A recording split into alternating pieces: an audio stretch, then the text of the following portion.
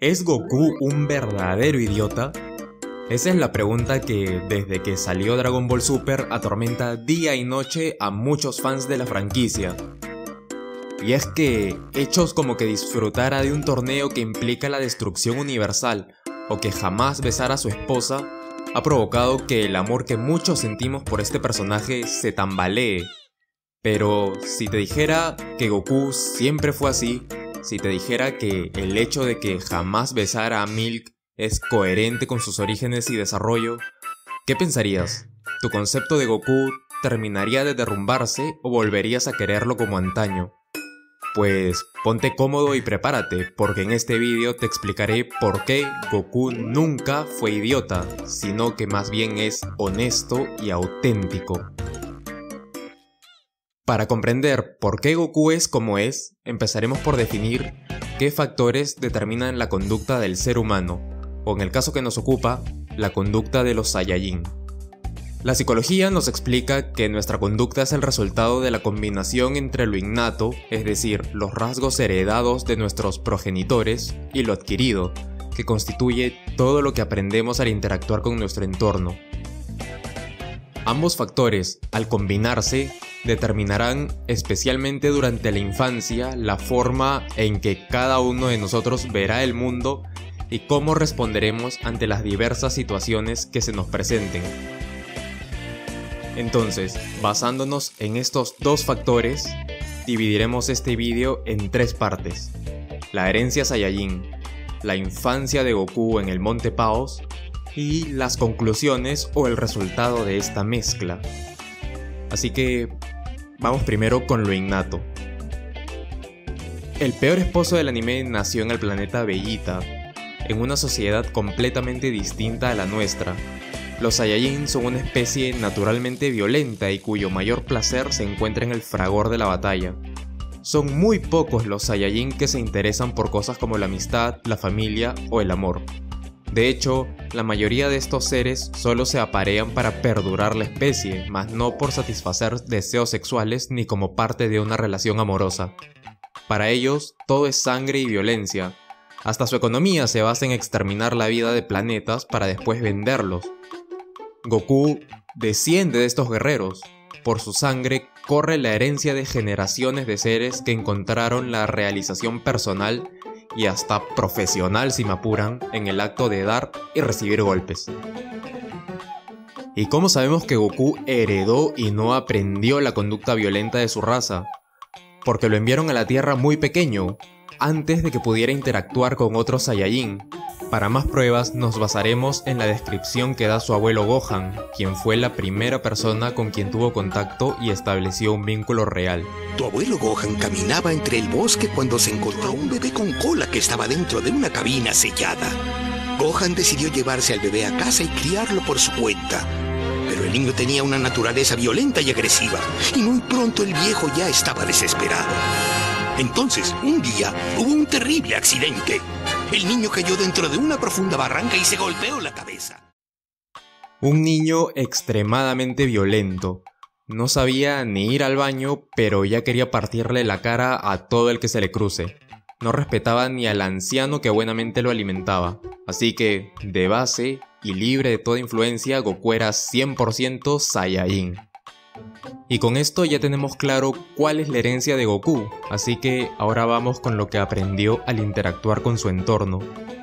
El golpe en la cabeza produjo en Goku una reprogramación cognitiva instantánea. Se volvió tranquilo, cariñoso y obediente. Ahora ya se podía hablar con él, y por lo tanto ya se le podía educar.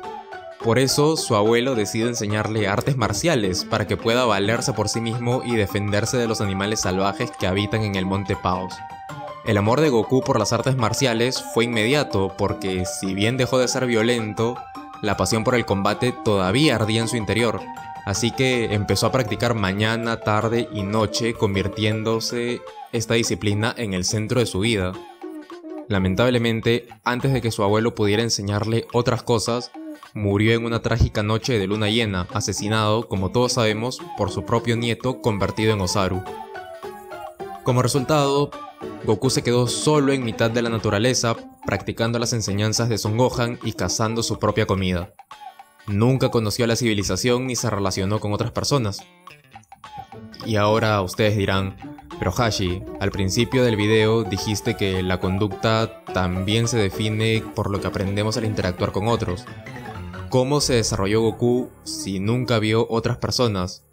Pues sencillo, así como la ausencia de un padre influye en el desarrollo del niño, la ausencia de interacción social también influye generando otros aprendizajes y provocando que el niño crezca y madure de forma distinta.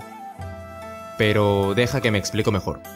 Resulta que los seres humanos, y para el caso que nos ocupa, los Saiyajin, tienen la capacidad de adaptarse a casi cualquier entorno. De hecho, se adaptan tan bien que convierten este nuevo hábitat en su mundo hasta el punto de olvidar todo lo demás.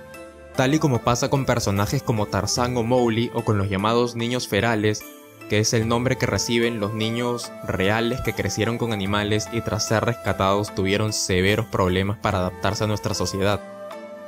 Estos niños, que crecieron en la naturaleza, privados de toda interacción humana, tienen dificultades para comprender conceptos como la ética y la moral, diferenciar lo bueno de lo malo o lo correcto de lo incorrecto.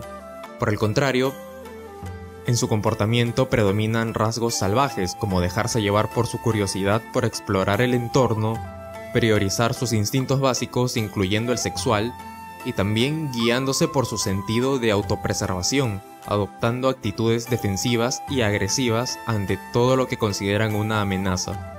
Es más, muchas veces ni siquiera alcanzan a comprender por completo nuestro lenguaje, hecho que resulta en una importante dificultad para intercambiar información a través del diálogo.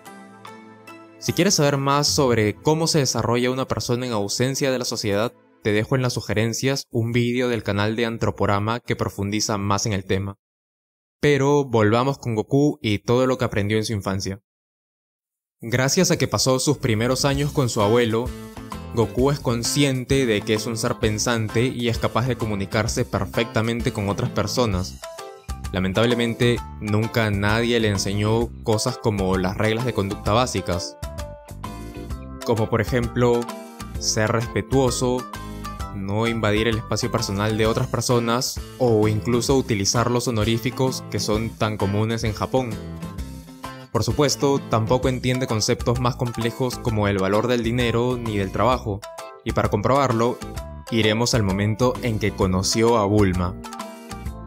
Para empezar, Goku ni siquiera reconoce a Bulma como humana, sino que identifica al automóvil y a la muchacha como un solo ser, un monstruo muy agresivo porque todo se ha dicho, Bulma acababa de atropellarlo. Goku asume de inmediato su postura de combate y se dispone a atacar. Y lo hubiera hecho si la chica no se rinde y grita que es humana. Esta revelación es obvia para el espectador, pero para Goku, que lleva años sin ver un ser humano, es sorprendente y sospechosa. Así que, para salir de dudas, procede a examinarla. En esta situación, un humano común y corriente haría una serie de preguntas que verifiquen o alivien sus sospechas, pero Goku se dedica a girar alrededor de ella, siempre en guardia, picoteándola con su báculo para mantener una distancia prudente, y solo cuando concluye que no es peligrosa se acerca y levanta su falda para comprobar si realmente no tiene cola. ¿No es esto acaso una conducta propia de un animal salvaje? Pues ahí está, Así es como influye la ausencia de sociedad. Total que Bulma, asustada, pregunta si acaso Goku no sabe cómo tratar a una mujer. Entonces él recuerda que su abuelo alguna vez le dijo que si veía una mujer tenía que ser caballero. Pero, ¿qué significa ser caballero para Goku? ¿Qué significa ser caballero para alguien que nunca vio cómo se comporta un hombre calificado con ese adjetivo? pues Goku se inventa su propio significado, un significado que le indica que debe dar alojamiento y comida a la mujer, pero que no le impide examinar y toquetear bajo su falda para satisfacer su curiosidad y evaluar su grado de peligrosidad. Bueno, después suceden otras cosas que dejan claro que Goku no se desarrolló normalmente. Como que Bulma se sorprende porque él se ofrece a cocinar cuando los chicos de la ciudad siempre piden que ella les cocine, o cuando la muchacha le ofrece su cuerpo a cambio de las esferas, cualquier puerto hubiera dicho, por favor llévate la esfera y de paso llévate mi virginidad. Pero Goku ni se inmuta, porque él simplemente no sabe y mucho menos comprende lo que es el sexo. Y aquí podríamos preguntarnos por sus instintos. ¿Acaso sus instintos no lo impulsan a buscar placer sexual? Bueno, quizá los Saiyajin no tengan esos instintos, porque, y aquí ya caemos en el terreno de la especulación, puede que para ellos el placer de la batalla sea equivalente al placer que nosotros sentimos durante el coito. Por eso es que siempre buscan hacerse más fuertes y medirse contra rivales que los pongan en aprietos. Bueno, sin desviarnos del tema, y ya por último y para terminar el apartado de lo adquirido, durante la serie, gracias a Bulma y otros personajes, Goku aprende ciertas cosas como a utilizar el radar y hasta manejar una nave espacial. Pero esto sucede porque tiene una motivación, ya sea resucitar al padre de Upa o viajar a Namekusei.